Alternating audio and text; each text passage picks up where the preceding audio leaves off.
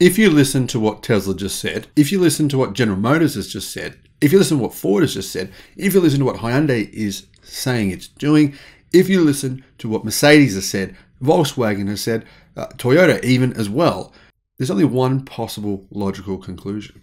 Jobs in the American automotive manufacturing sector will reach an all time record within a very short period of time. Manufacturing in the United States is back in a big way. In fact, in a bigger way, I believe, maybe than ever. Crazy news week this week for Tesla. One thing that I haven't seen reported on pretty much anywhere else except from Paul Fosse, who's part of the Electric Viking Facebook group and a writer for a number of different websites, is Tesla's plan to produce twice as many batteries as the entire global production in 2022 themselves. This is a huge goal. Is it actually feasible? Should they do it? Well, here's what Tesla plan on doing, and here's my opinion on this decision. Hello, my friends. Welcome to the channel. I'm the Electric Viking. Great to see you. Welcome to all the new subscribers. Welcome back, everyone else. Thanks for tuning in. Welcome to the YouTube channel that makes more videos about electric cars and battery technology and renewable energy than anyone else. Over the past 18 months, we've done over 2,000 videos now. Just want to say thank you to you guys for coming on this journey with us. It's been amazing. So, one thing that people seem to have missed is that Tesla said, disclosed at the Q3 earnings call. In fact, Elon repeated it three times. So, if you don't like Elon, maybe move on to another video because otherwise you're going to get all worked up and angry about this one. Anyway, he said three times that Tesla plans on producing 1,000 gigawatt hours of batteries a year. Now, we can't 100% confirm that Tesla plans on producing 1,000 gigawatt hours of 4680 cells a year. Maybe it does, maybe it doesn't.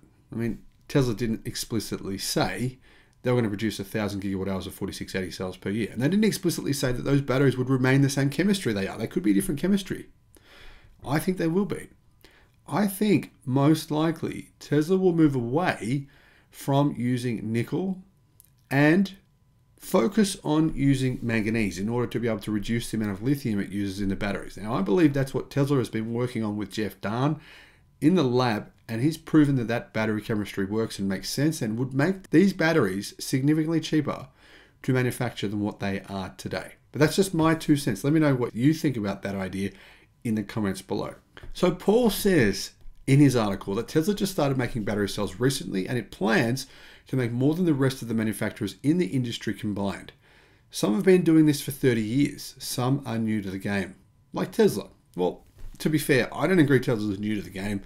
Uh, they've been working with Panasonic now for a long time, what, a decade now, producing batteries. So Tesla has had a fair bit of experience. Remember, the battery cells that Tesla use, that Panasonic make for them, do contain Tesla's particular cell chemistry, which clearly gives their vehicles pretty damn good energy efficiency. I mean, have a look at the cars coming out now, right?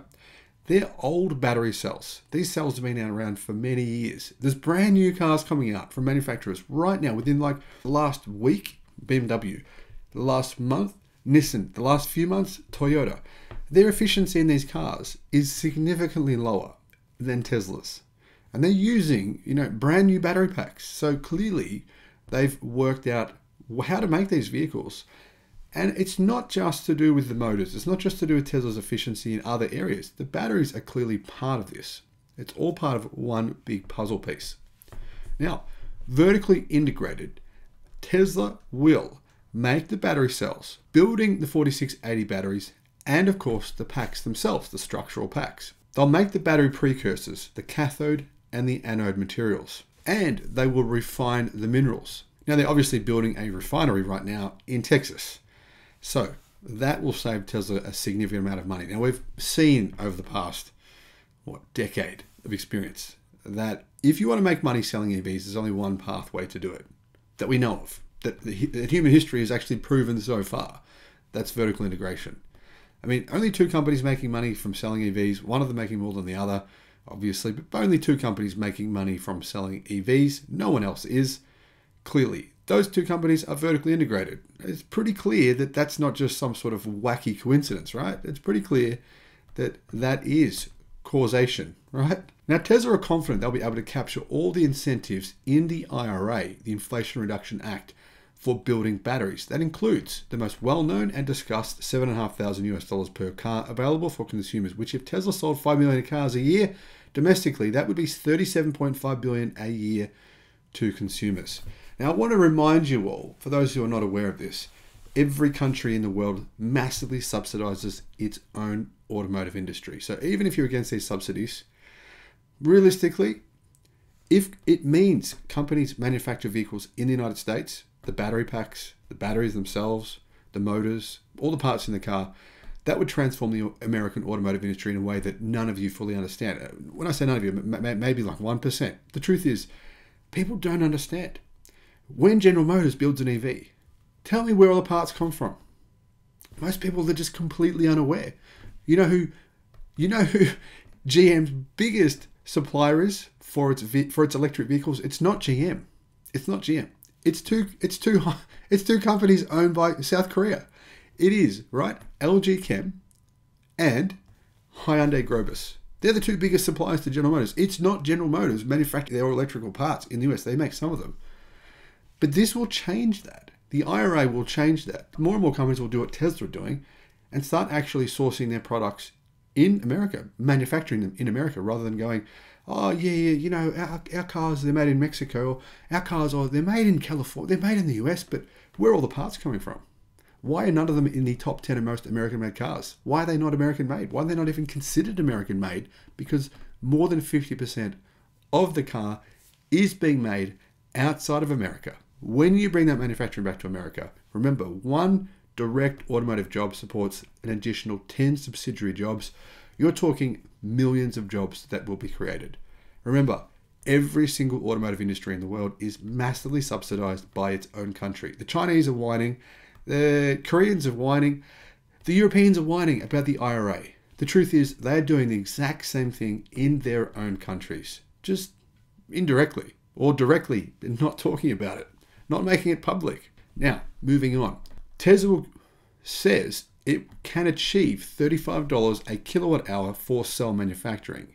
Times a billion kilowatt hours, that's another $35 billion a year. $10 per kilowatt hour they claim they can achieve for pack manufacturing times half a billion kilowatt hours, assuming half batteries go to energy storage and half to vehicles, is another 5 billion a year. Now, I've heard people criticizing this. Some people on the comments are saying, yeah, that's great, but CATL can make a pack for $5. They can assemble the pack together for $5. Tesla can, uh, even if they can do it for $10, CATL is so much better. That's great, but is CATL doing it in the United States? Are they? Are they planning to do that in the United States? No, they're not. They may do so in the future, but the pack cost to assemble the pack won't be $5 when they do them in the US. They have to pay US wages. They can't pay Chinese, in some cases, slave labor wages. They have to pay US wages. They'll have to compete with Tesla for employees. So you can't compare the cost of manufacturing batteries in China with the cost of manufacturing in the US because that's what CATL will have to do if they're going to compete with Tesla in the US. And that's what people are saying. They're saying, oh, but CATL's costs are less. Yeah, of course they are. But can they supply manufacturers in the US? Probably not. Not if they're selling the cars in the US because manufacturers won't want to buy the batteries from them if they're made in China because they won't be able to get the subsidies.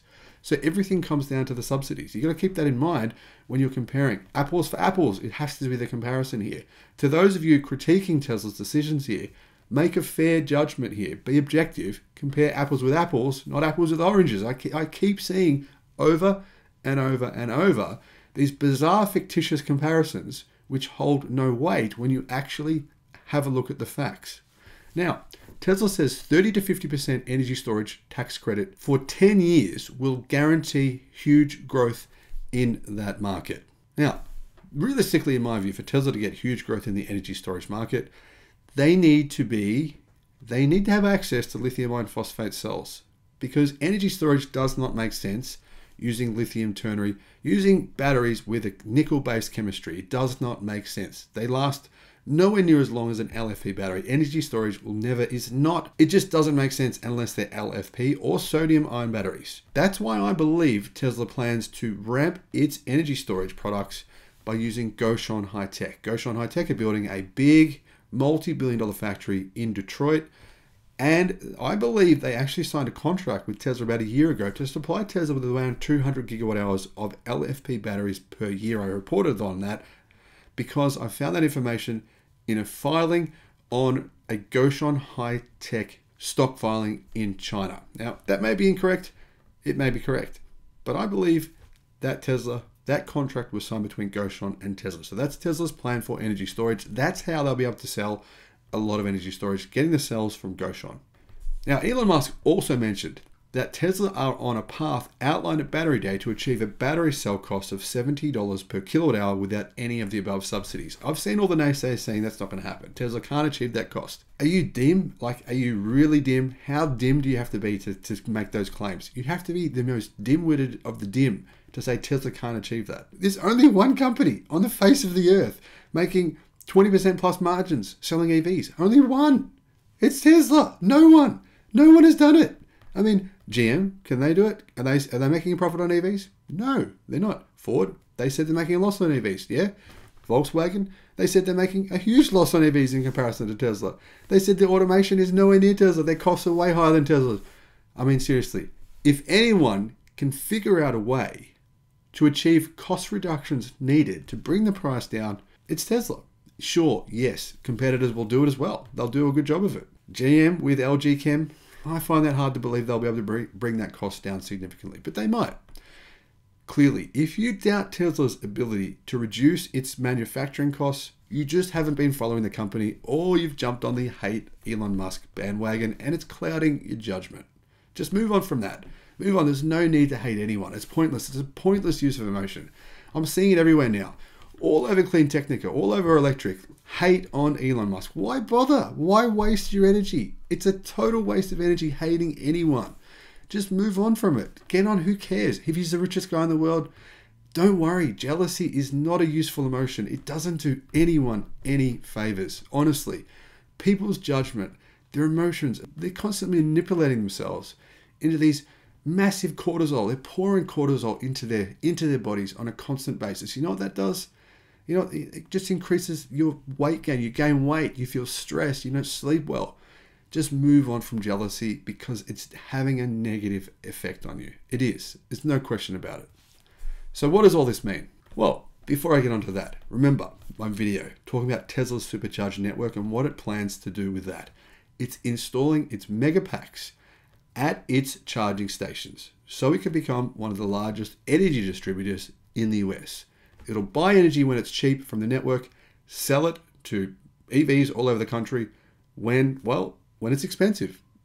And when is energy expensive? At superchargers, it's always a much higher price. That's where you can charge a premium. Now, in addition to that, remember, Tesla is working on a way for charging providers to get the renewable fuel subsidies that ethanol gets today. And President Biden's bipartisan infrastructure law has direct grants for interstate charging, which Tesla will likely bid for.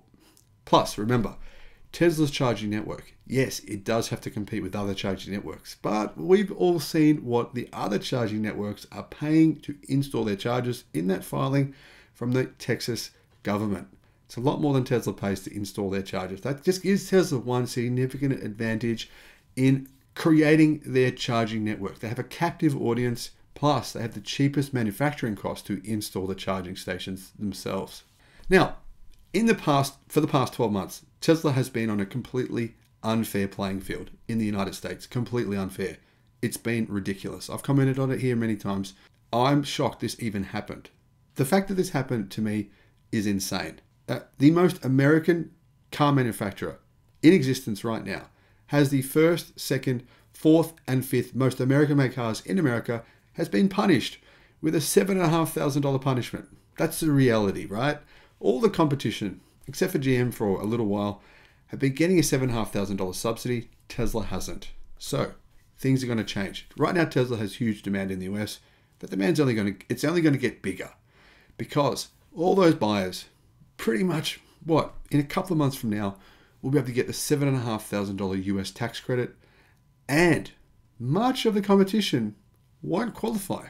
That's a huge benefit for Tesla and spiking demand. Now, by the time that demand starts to curb off, which it eventually will, I believe Tesla will be able to get their production costs down further, and that will give them a pathway to reduce costs easily while still maintaining industry leading margins. Now, personally, the value of my stock in Tesla has gone down a fair bit over the past few months, but I'm definitely not considering selling. If anything, I'll be buying more once the opportunity arrives.